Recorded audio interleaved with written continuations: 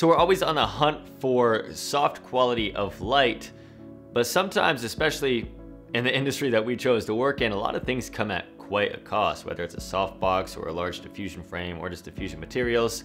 And a lot of the time we're working on a budget and looking for a cheaper alternative. And that is the purpose of this video, which is focusing on using different budget materials under all of which like $20 to diffuse our light and then see how that actually compares to actual professional diffusion gear.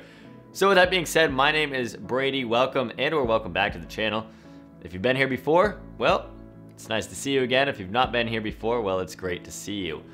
I've been a little bit distant lately. I moved. I'm I'm I'm in Utah now. Um, that's a song for another day. We don't have a lot of time to touch on that at all today. So a little disclaimer for most of these, obviously you're gonna see behind the scenes of each setup, but the light that I'm gonna be using as the key light through and through is an Aputure 300D with a reflector dish. So that light is going to stay the same throughout the entire uh, time of all the different diffusions and the material in which we are diffusing or the way in which we are diffusing is going to be the one that is changing.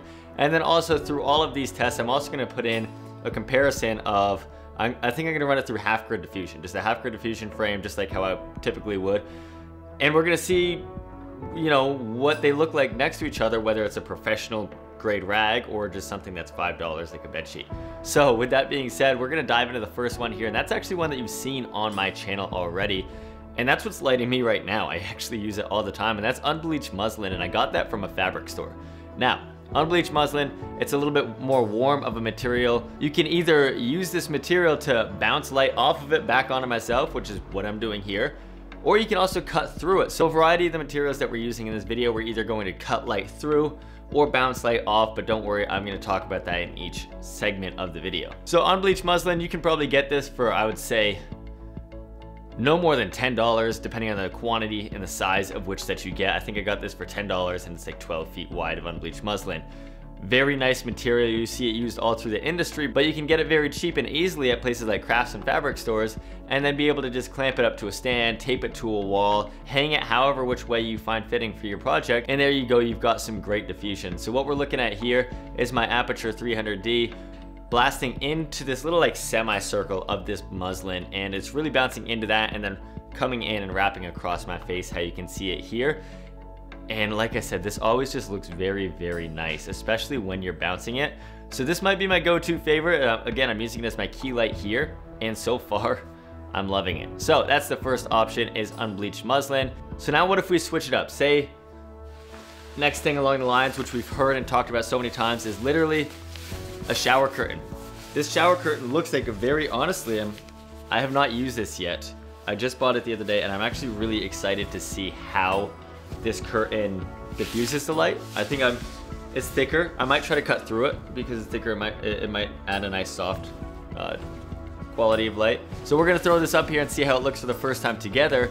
But a shower curtain, I got this for $6 at Target. So again, we're staying under $10 for this. And I'd say the best way that we're gonna set this up is probably hang it from two stands, maybe clip it to each side of two different stands, or if you've got a grip arm, you can just hang it from that as well.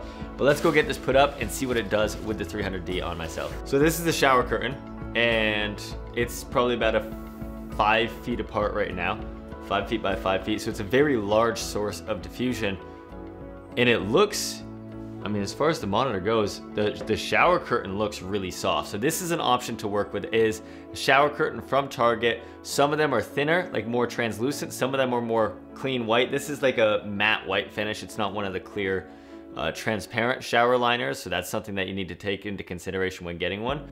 I'm using my phone to monitor and honestly, I'm impressed. It looks really, really nice. So again, we've got the 300D as our light, but instead of bouncing off of the muslin like we were just doing previously, now we're transmitting through this diffusion material as if we would be cutting it through a softbox. So this is what the shower curtain looks like. And now the other one, which I used for the longest time, obviously I haven't even opened this, but if you guys have been around on this channel since the very early days, you've seen that I have literally used a white bed sheet time and time and time again. And I'm gonna put a video right up here above or in the description as well um, of a DIY scrim that I did way back when because I didn't, obviously yes, I've saved up and I've invested in my gear in the time since, but in the beginning, beginning, I did not have the money to invest in expensive stuff. I just had to make a little bedsheet scrim. So that's what I did. Here is what we are looking at next, which is a white bedsheet. Again, I got this at Target for $10. I think $10 for the whole sheet set because they didn't have any of the others in stock. But it's very similar in material to this shower curtain. I think it might be a little bit, it's more like cottony and I think it's a little bit more uh, dense, I guess, if that's a bad word for it. I, I feel like it's gonna diffuse the light a little bit more and then maybe take a little bit more light, but soften it just a little bit more because the shower curtain, it's still somewhat sheer, somewhat translucent.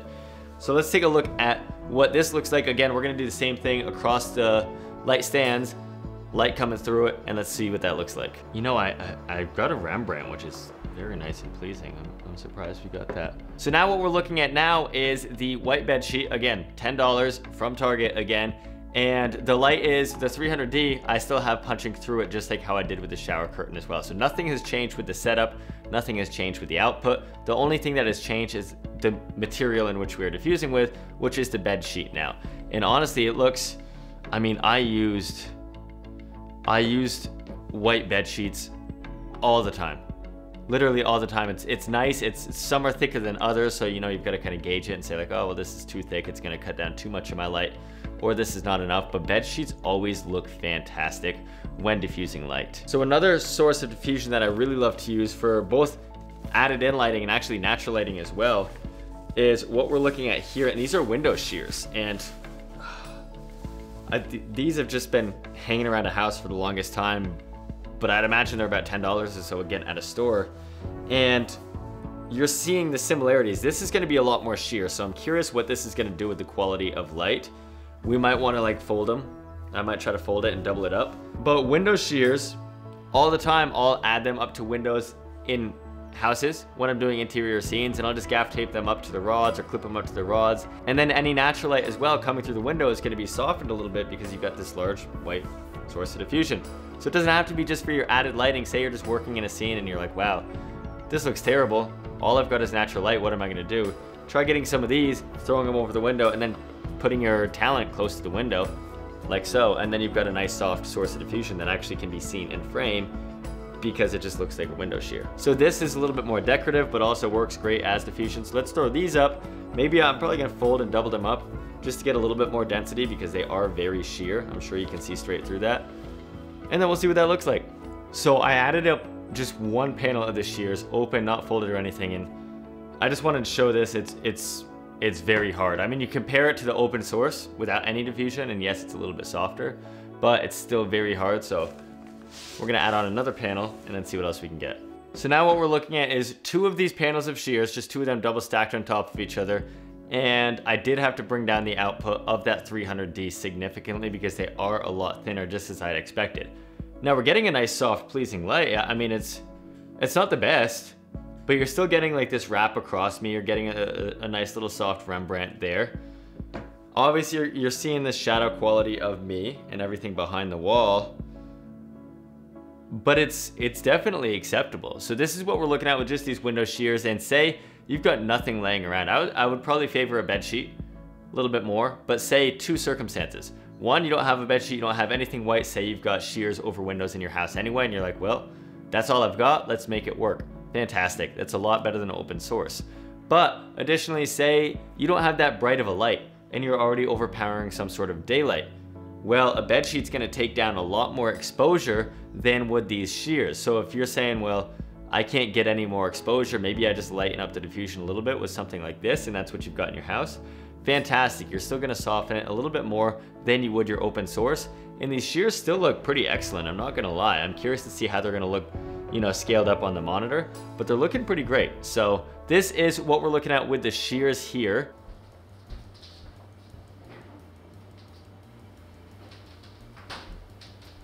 Cuts shirt. I got one on too. That's Cuts, right? Yeah, it is cuts. It's got the it's got the white little X and everything. Yeah. Is that cuts too? Yeah, they just they just came out with it a couple months ago actually. It's their vintage wash. Oh yeah? Oh, cool. You can get it off of the Cuts website. You didn't know that? Hey, you got a discount code for that?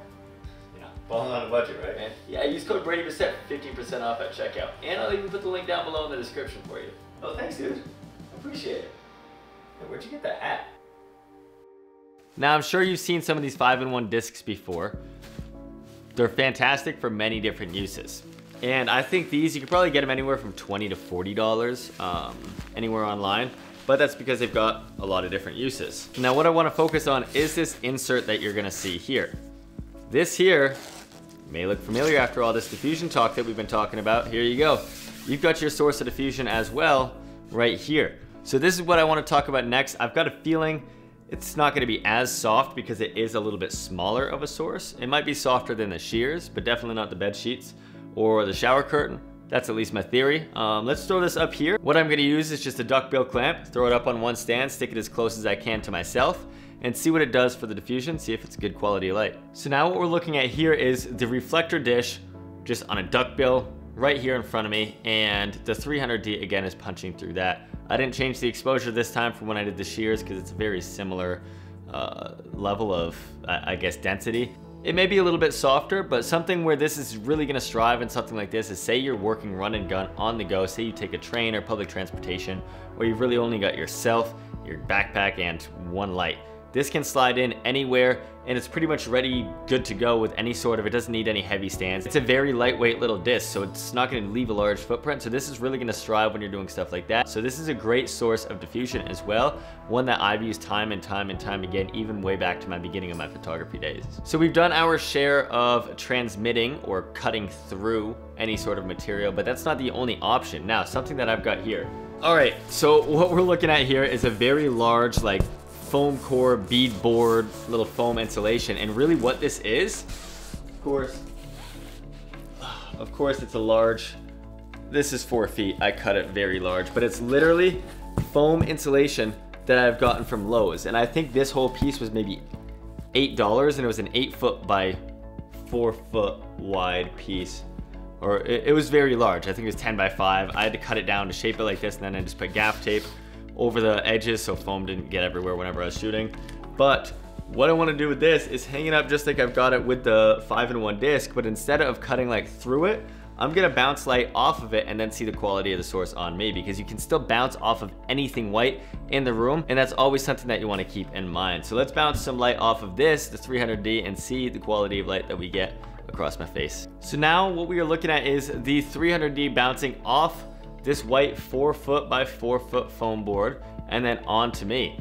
And I'd like to say it's still pretty soft, but when bouncing your light, you're definitely not gonna have as much directional control. I can tell that it's just bouncing off of this and just kind of filling ambience throughout the room. But all in all, you're still diffusing your light and it's still not a bad thing to do. And especially if you use this, say in combination with some other source of diffusion, kind of as a book light, bouncing into this and then through your diffusion, that's where you're really gonna get soft quality of light. And that's exactly why I bought this foam board because I love doing book lights to get soft quality. So say you combine this and a $5 bed sheet or a shower curtain, now you've got double diffused book light with $10 worth of diffusion.